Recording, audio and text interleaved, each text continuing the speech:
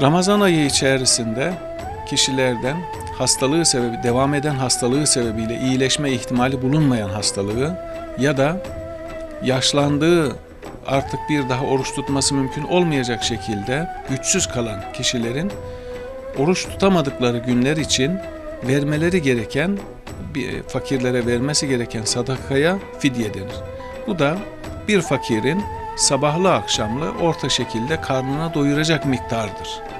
Danimarka için söylememiz gerekirse fidye miktarı 100 Danimarka kronudur. Bununla kişi sabahlı akşamlı orta halli karnını doyurabilir iki öğünde. Buna fidye denir.